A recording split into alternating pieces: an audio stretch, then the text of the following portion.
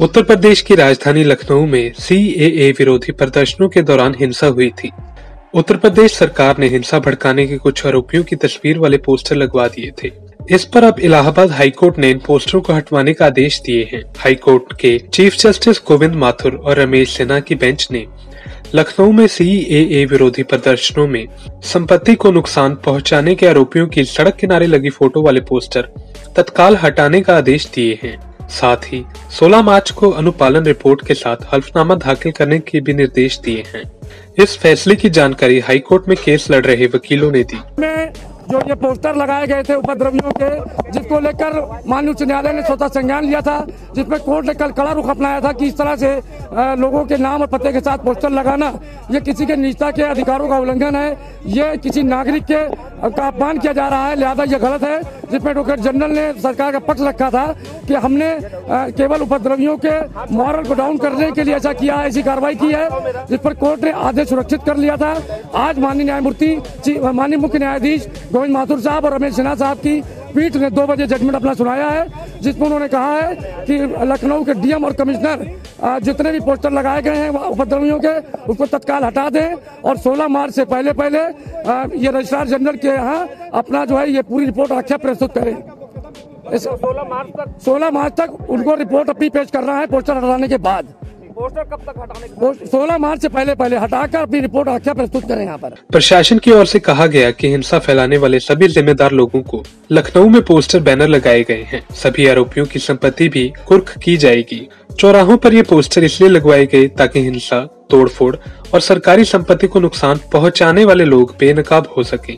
इस दलील पर हाईकोर्ट ने कहा कि सड़कों पर किसी भी नागरिक का पोस्टर लगाया जाना नागरिकों के सम्मान, निजता और उनकी स्वतंत्रता के खिलाफ है। पब्लिक प्लेस पर संबंधित व्यक्ति की अनुमति बिना उसका फ़ोटो या पोस्टर लगाना गैर कानूनी है। ये निजता के अधिकार का भी उल्लंघन है। इस पर थिएटर कलाकार दीपक कबीर ने सरकार के खिलाफ रोष प्रगटाया। देखिए डैमेज पूरा हो चुका है जितना होना था। पाँच छह दिन होल्डिंग लगी रही है, उसका काम हो चुका है जितना होना था। डिजिटल वर्ड है ये।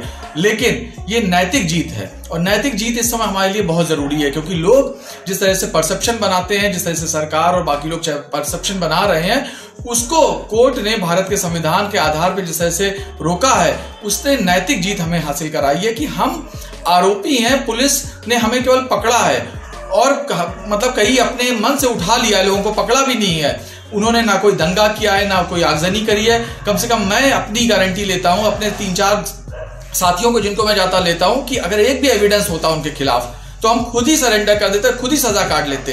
पर उसके बाद आपने मुकदमे दर्ज कराया आपने जेले भेजा आपने पिटाई कराई आपने अटेम्प्ट टू मर्डर का केस लगाया और उसके बाद आपने रिकवरी करी और रिकवरी करने के बाद हमको बताने की बजाय पूरे शहर में ढिढोरा पीटा।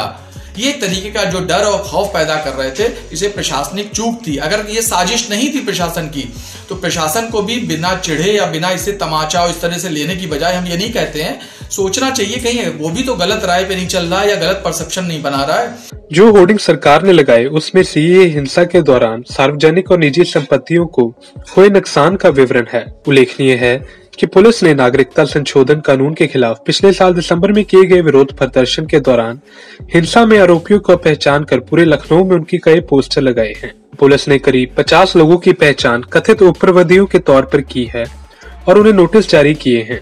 इसमें समाज सेवी और राजनीतिक सदाफ ज़फ़र, वकील मोहम्मद शोएब, थिएटर कलाकार दीपक कबीर और पूर्व आईपीएस अधिकारी एस आर दारूपुरी जैसे कई अन्य लोगों के नाम दर्ज हैं। इसके अलावा इनकी तस्वीर और पूरा पता का विवरण भी होर्डिंग में दिया गया है। साथ ही लिखा है कि सभी से नुकसान की भरपाई की जाएगी। आपको बता दें कि बीती 19 दिसंबर को राजधानी में सीएए के विरोध में लगभग दस हज़ार लोग सड़कों पर उतरे थे। इस दौरान बड़े पैमाने पर तोड़फोड़ आगजनी भी हुई थी।